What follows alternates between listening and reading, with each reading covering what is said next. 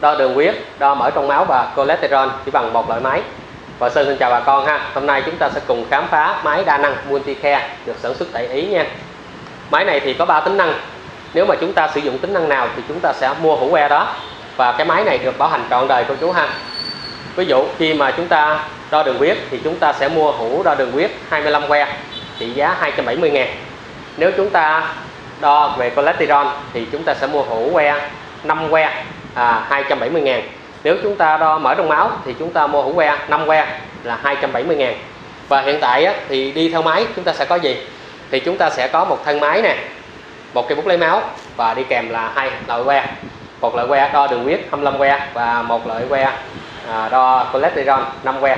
Tất cả là 2 triệu 200 ngàn cô chú ha. Rồi mình sẽ cùng khui máy nha. Thì bên trong chúng ta sẽ có phiếu bảo hành trọn đời tức là chúng ta mua một lần thôi sau này trục trặc thì chúng ta sẽ gửi đến hãng để được bảo hành trọn đời. Đó, bên trong máy thì chúng ta có một cái máy nhỏ gọn thế này nè và một cây bút lấy máu ha. Thì cái thân máy nó cũng giống như những cái máy đo đường huyết thông thường nó rất là nhỏ gọn. Mình có một nút nguồn và một nút cộng trừ thì chúng ta có thể cài đặt ngày giờ trên đây luôn.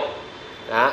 và phía sau thì chúng ta có một cái chỗ để mình lấy cái que khi xài xong ra. Bên hông thì uh, chúng ta có một cái khe để mình cắm cái mã code vào. Ví dụ khi mà chúng ta mua một hũ que đường huyết thì chúng ta sẽ có một cái à, mã code riêng à, cholesterol cũng vậy và mỡ trong máu cũng vậy. Thì giả sử khi chúng ta sử dụng nè mình sẽ có ba màu. Cái hũ que mà để đo đường huyết nó là màu xanh dương nghe và cái à, thẻ code cũng màu xanh dương để tránh nhầm lẫn khi chúng ta sử dụng. Rồi khi đo mỡ trong máu thì chúng ta sẽ có cái màu vàng. Và khi chúng ta đo cholesterol thì chúng ta sẽ có cái màu ờ, xanh lá ha. Thì Hoàng Sơn sẽ có từng video hướng dẫn cách sử dụng cho ông bà cô chú mình tham khảo. Vì cái này là máy đa năng nên là chúng ta sẽ có cách đo riêng à, khác nhau. Rồi nếu mà như cô chú mình quan tâm có thể liên lạc trực tiếp với Hoàng Sơn và xem thêm các video về à, máy đo đường huyết đa năng này nha. Ví dụ như chúng ta đo đường huyết thì chúng ta sẽ có cái cái hũ này là Luco nè đó, thì bên trong hũ Luco thì chúng ta sẽ có một cái thẻ code. Đây màu xanh dương nha. Mình sẽ cắm vào máy. Mình sẽ cắm bên hông máy ha.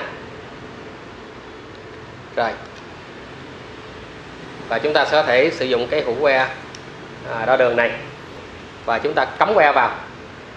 Chúng ta sẽ chấm một giọt máu chạm vào. Thì nếu mà chúng ta đo về mở trong máu thì chúng ta sẽ mất thời gian khoảng 30 giây đến gần một phút.